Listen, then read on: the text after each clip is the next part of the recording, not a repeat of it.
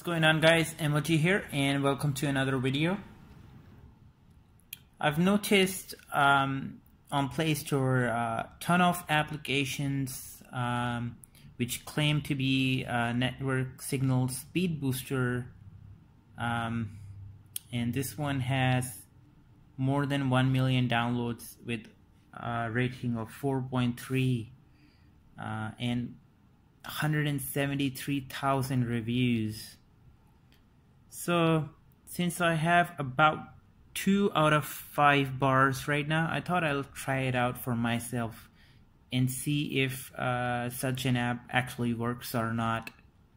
Now, one thing I noticed straight from the title of this app is that it says it's a signal speed booster and there isn't anything called signal speed. Um, if I go in the description of this app, it doesn't really tell me what it's gonna do to uh, boost my signal or speed. Anyways, I decided to try this app out. So I'm gonna open the app and it looks like it's doing something. It says it's restarting my phone modem.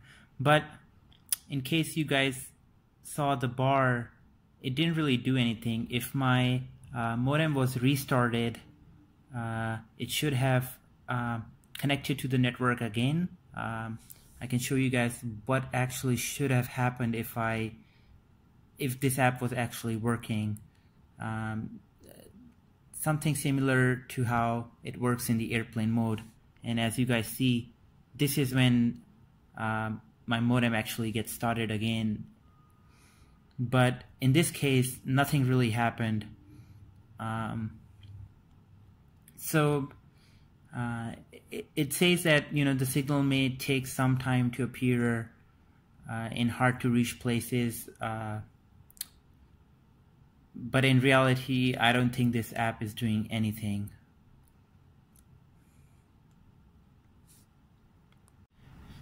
Um, another thing uh, I wanted to show you guys is if I go into the Play Store and uh, look what other applications the developer has uh, they're really really simple applications like changing brightness uh, you know just a task killer application uh, something to connect to Wi-Fi.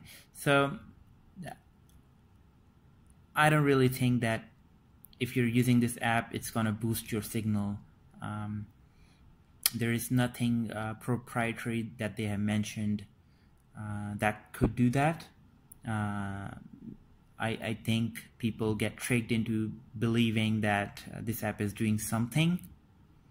Uh, yeah, uh, I, I, think Play Store should remove such applications from their store let me know what you guys think uh, through the comments and I hope you guys find this video useful. Thank you.